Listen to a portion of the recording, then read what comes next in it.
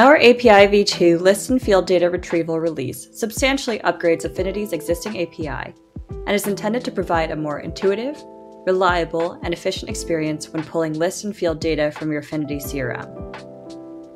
To give an example of these significant improvements, let's say I'm a software engineer at a VC firm looking to pull a list of companies and some of their profile details, like location and year founded, from Affinity into in house reporting.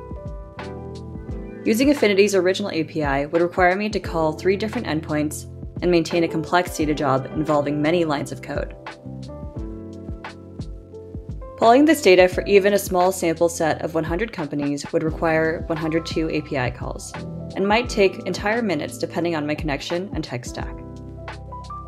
In comparison, Affinity's API v2 allows a much more seamless integration experience, starting with cleaner, typed documentation that includes request and response examples, and even an OpenAPI spec that your team can use to auto generate code.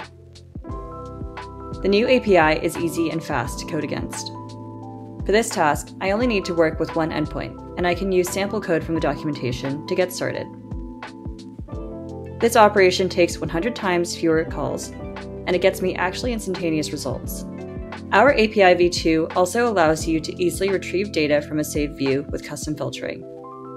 For example, let's say my deal team wants to report on a daily list of California based companies in their network.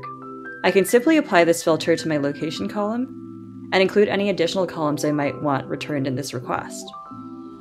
From here, I can simply save this view, grab the save view ID from the URL, and call an endpoint that provides all the list entries on the save view. This will quickly return just the filtered data from my list so that I can easily incorporate it into my firm's internal data workflows. API v2 makes it easy for your team to pull more data more often. Speak to your customer success manager or request a demo to find out more.